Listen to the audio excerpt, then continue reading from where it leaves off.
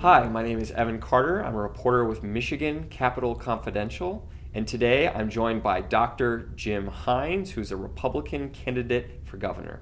Thank you for being with us today, Dr. Hines. Hey, it's great to be here. Thanks, Evan. To start things off, um, tell us a little bit about yourself. What brought you to Michigan, and what do you think is the best part about living in the state? Wow, that's a loaded question. I'm a, I'm a medical doctor and a former missionary to the Central African Republic and a small business owner. And uh, what brought me here was training. After I had uh, come back from Africa, I ran two hospitals there. Uh, I felt like I needed more education, and so I came to the um, Michigan State University branch program in Saginaw, and I did a residency in OBGYN. So, moving into policy topics now, um, over the past number of years, the state of Michigan has given out about a billion dollars out of their general fund every year in select tax credits to certain businesses. And then last year, they passed two more tax credit packages. Was this a good move or is this a bad move? Well, in my opinion, it was a bad move. And I, I think that the, the best economic thing that we can do in this state uh, is to de- decrease taxes. Uh, decrease taxes for individuals and for, uh, for businesses, for job providers. Uh, when, when you start picking winners and losers, more often than not, you're, you're wrong, you're off. And I think there's some great examples of that right here in Michigan solar, batteries, film where you think something is or a business is going to be great and, and it's going to uh, produce a great economic benefit for the state, and it turns out not to be. Mm-hmm. Um, it actually reminds me of Henry Ford because imagine if you uh, had a horse and buggy business back in 1901, 1905, and uh, you uh, asked for a subsidy for your business and not knowing that Henry Ford would produce the first car in, in 1908. Sure. You know, and so we've seen that over and over again here in uh, Michigan, and uh, you alluded to a couple of um, uh, new entities, uh, Michigan Thrive and Good Jobs. Yes, yep. And uh, I would have voted, voted against them. And one of the reasons I would have voted against them is because I, I believe that it, it cherry picks or it poaches workers. So, for example, uh, when you start a, a, new business and, and you're anticipating two, three hundred workers, or in the case of Amazon, 50,000 workers, we have holes in every sector in our job market here in Michigan right now. We're okay. short 100,000 skilled trade jobs. And so, where are you going to get the workers? If, if you could bring those workers from other states, I'd be delighted. It would be great. But the fact of the matter is, we don't have the workers. We don't have our unemployment rate is as lowest as it's been in 17 years, and uh, so we don't have the workers to fill those jobs. And that's probably one of the reasons that Amazon did not choose to come to Detroit because of the lack of talent, among other things. So uh, I'm not for picking winners and losers. I'm for decreasing taxes across the board for everybody. Make make the uh, job market uh, look really uh, be good and look good for everybody, not just certain entities. Sure. Now you talked about I'm for decreasing taxes. Um, sort of a thorny issue in the past couple of years has been the state's income tax rate. Right now, it's at 4.25%. Uh, last yes. time I checked. Yes. Um, it used to be at 3.9%. Then it went up to 4.35 and went down. Mm-hmm. But it's sort of been stuck at four and a quarter percent for for a little bit. If you were the governor of Michigan, would you sign legislation that returns the income tax rate back down to 3.9? I, I would to fulfill a, a promise from Granholm, who increased it to 4.35 to, to get it down to 3.9. But uh, we, we would have to be careful even doing that because, sure. first of all, I think fiscal responsibility is critically important for the governing of a state. So we need to be responsible with the funds that we have. And so I would say that, that I would be for um, control or uh, taxes and regulations and spending under control and decrease taxes when we can. So that decrease in taxes that you brought up from 4.25 to 3.9, it's, it's about 250 million for every one tenth of a percent change in the income tax. And so that's $875 million. And so on the surface, it sounds great. Let's, Mm-hmm. let's decrease it to 3.9, but we have to realize if we're going to be fiscally responsible that that's going to, that's going to create a hole somewhere. And so you have to look at your budget and, and Sure. figure out, you know, what you can do without uh, or what you can change to come up with the money that will be required so that you can have a balanced budget. Okay. Changing gears a little bit, um, as governor, um, the state executive would have to deal with a number of issues, one of those being uh, the criminal justice system. Are there any specific reforms you think are needed in the criminal justice system? What, what are your thoughts um, about those issues? Um, of course, uh, our budget is two billion dollars a year in in in that category.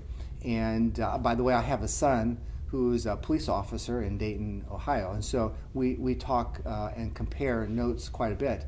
Uh, one of the things is the um, civil forfeiture, uh, where uh, a, a, a, there's a police raid and they confiscate all of the goods for whatever reason, and uh, they keep them, even though the individual uh, has not been convicted of a crime, or if if uh, they go through the process are found to be innocent, it can be very difficult to get those items back. And I think that uh, when you look at um, uh, seizing someone's property, you're, you're messing with the Fourth Amendment.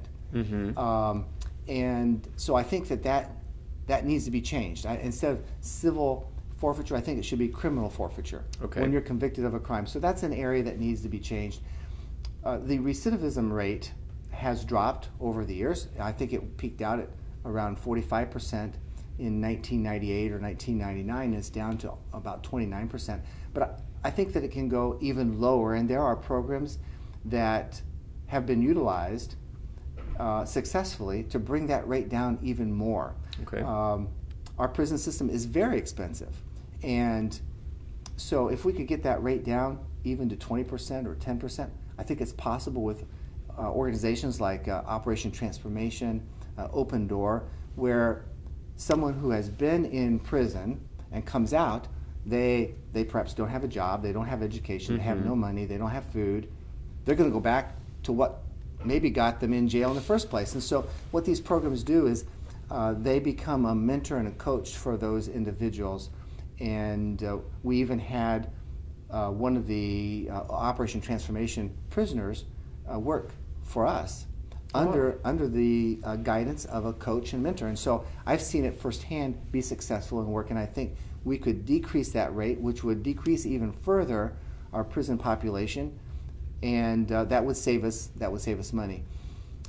Um, a- another area uh, would be uh, bonds, and uh, so if a professional were to uh, do something illegal and it's a thousand dollar bond Ah, and uh, cash bonds. cash bonds Yes, yes okay. cash bonds and you know i could pay the thousand dollars Sure. but someone on medicaid or someone with a low income is not going to be able to pay that and they're going to end up spending time in jail um, and then there's the driver's responsibility issue too With the driver responsibility fees? with the fees Mhm. because uh, those individuals uh, the fees can be tremendous and and um, so they either if they uh, don't want to drive illegally Mm-hmm. you know then uh, they have problems getting a job uh, if the job is further than they can walk and then uh, or they drive illegally so that's an issue that needs to be dealt with hmm Okay. Now, changing gears a little bit again to the state's environment. Um, so, in 2008, former Governor Jennifer Granholm signed the uh, Renewable Energy Standard uh, that says that in the state of Michigan by 2015, we have to get 10% of our energy from renewable sources. Then in 2016, Governor Snyder expanded that. He signed into law a requirement that 15% of the state's energy be gotten from renewable sources. Was this a good move or is this um, a bad move? it's a bad move. And uh, I love renewable energy. Uh, when I worked in Africa for the four years, we solarized both hospitals, we solarized our house, and we solarized about six or seven of our urgent care facilities. And this was good because I was tired of doing delivery, delivering babies and doing surgeries with flashlight. Sure. Uh, but we could not have afforded it if we'd had to purchase all the solar panels. So we had a subsidy, and uh, the individual that that purchased all those for us, they purchased them, and we did the wiring and we did the Mm-hmm. brackets and so forth. And so uh, I would, if if uh, renewable energies are so good as the proponents say, then why not get rid of the subsidies and the mandates? And Okay. so I would be a proponent for getting rid of subsidies, getting rid of mandates, and let the open market, the free market, decide what's going to happen with our renewables. So, beyond the standards set by the state of Michigan, a number of those subsidies are set at the federal level.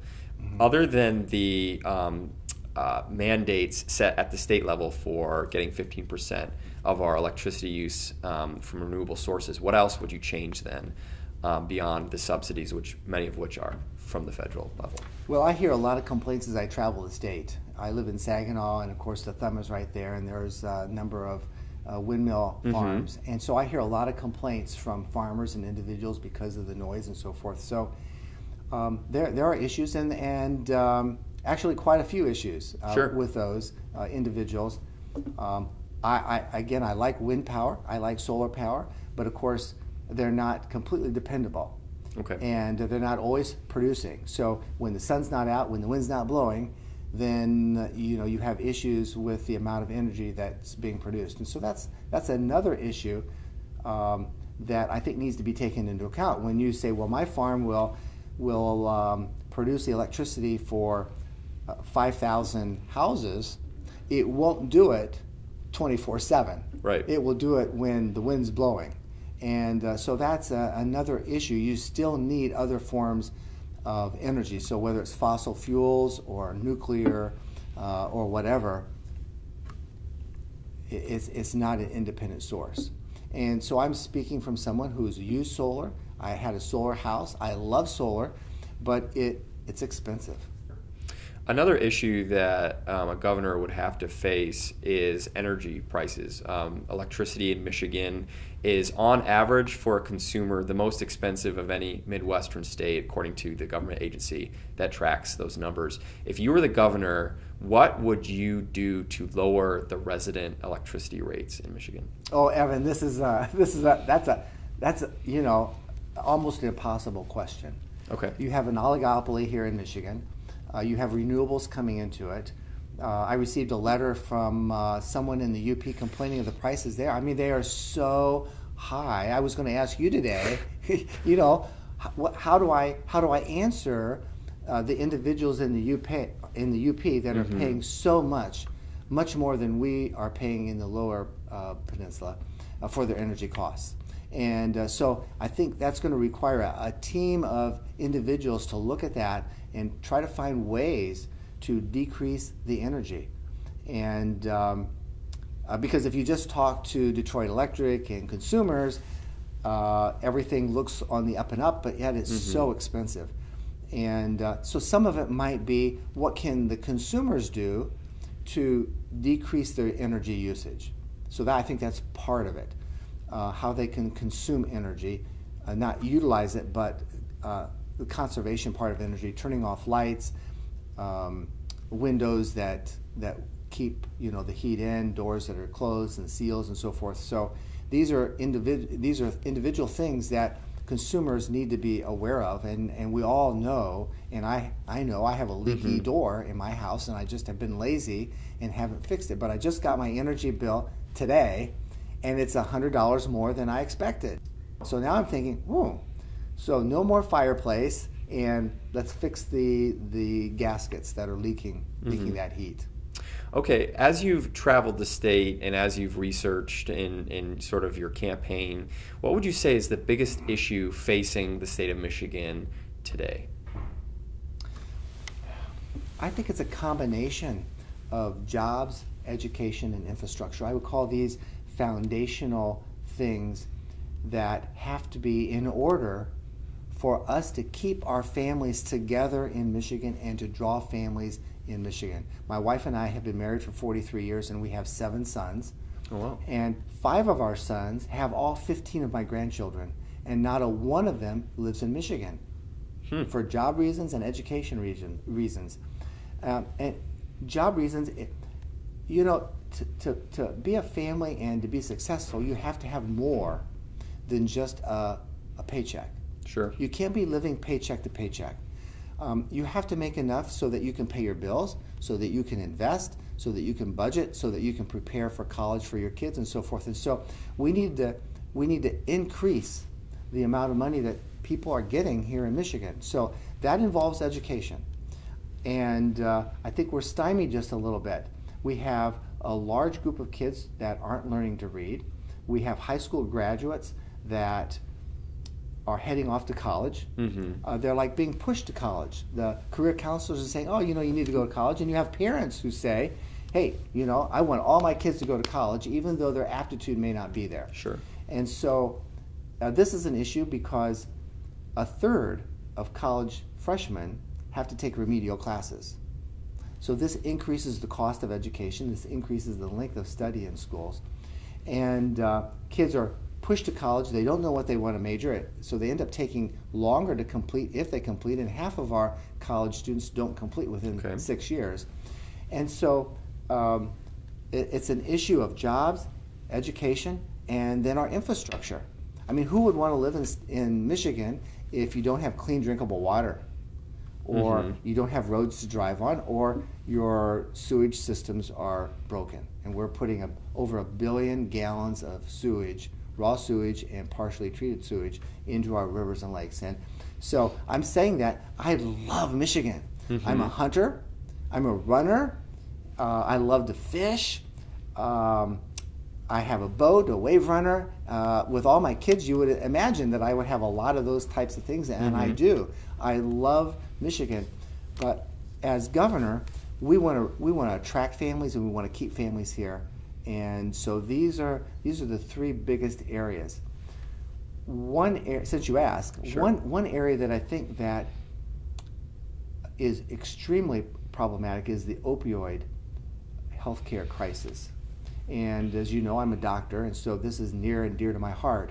Uh, my son is the policeman. As I said, he carries the antidote naloxone in his pocket, and we want to save lives. We have over 100 people dying every day from opioid overdose. And we're, we're trying to deal with it by limiting the use of opioids, which I think is, is good, it's great. But the problem is, is that when you take someone's opioids away, they're addicted. Their brain thinking is broken. They will go to heroin or fentanyl. Otherwise, they're going to go through opioid withdrawal, which is horrendously bad. I mean, it's bad, very bad. And um, so we have to be careful that we fund for the um, addiction counseling and medication use to get someone healed, get their brain healed. And that process is a process. It's more than a week, it's more than two weeks, it's one to two years. So once you're addicted, there is a process that you need to go through. And we don't have enough physicians to, to meet that need. And so we need more funding and we need more addiction. We call them addictionologists. So this is someone who specializes in addiction uh, issues with individuals, and they're very good at it. But we don't have enough providers to handle that, and so that really needs the attention uh, of our governor and of the state. Well, Dr. Hines, thank you so much okay. for being in here and talking with us today. Great. Um, stay tuned. In the next couple of months, we will be speaking with a number of uh, gubernatorial candidates. You can see more news and interviews like this one at micapcon.com or by looking up Michigan Capitol Confidential on Facebook.